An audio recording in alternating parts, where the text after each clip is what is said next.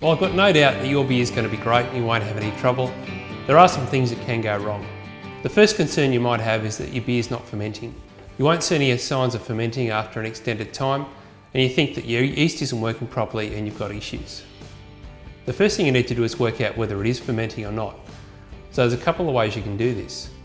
The first way is to use your hydrometer and take a sample.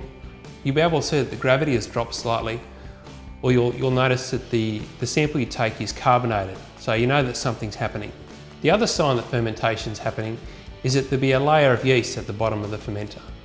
This is from the yeast multiplying and dropping to the bottom of the fermenter. The other thing you can look for is, if you're using cling wrap, you'll see a slight bulge on top of the fermenter. This means that pressure is being created as the yeast produce carbon dioxide. You can also smell your beer fermenting. So you'll smell a Depending on the beer, it'll be hoppy, um, yeasty, sort of malty, sweet aroma. And you know that gas is pushing those smells out and something's happening. The final way to check is just to look for a dark ring of resin around the top of the fermenter. The bubbling action will take up hop resins and other matter and deposit this on the side of the fermenter. The simplest and most accurate way to check is using your hydrometer. If you've got no signs of activity after 24 hours, if you've cleaned and sanitised properly, chances are your beer's still going to be okay. The other issues that new home brewers, brewers hit is your beer's too carbonated. So you'll notice they'll be hard to pour, um, hopefully it'll be non-exploding, but certainly the carbonation will be higher than it needs to be. There's a couple of reasons for this. The first one is that you're adding too much priming sugar when you're bottling.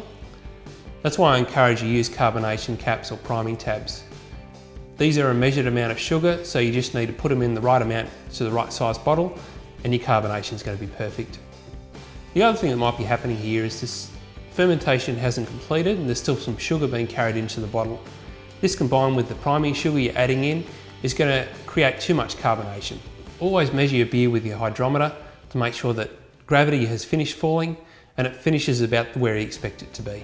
I've got some advice on how to deal with overcarbonated beer in the ebook that goes with this course, so have a read through, but hopefully you won't need to use it. On the flip side of this, some brewers find that their beer's flat.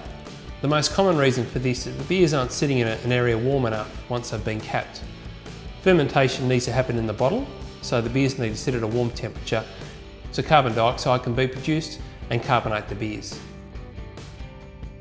Some brewers aren't particularly happy with the taste of their beer, there's a range of reasons for this. Uh, the most common one would be a slight infection.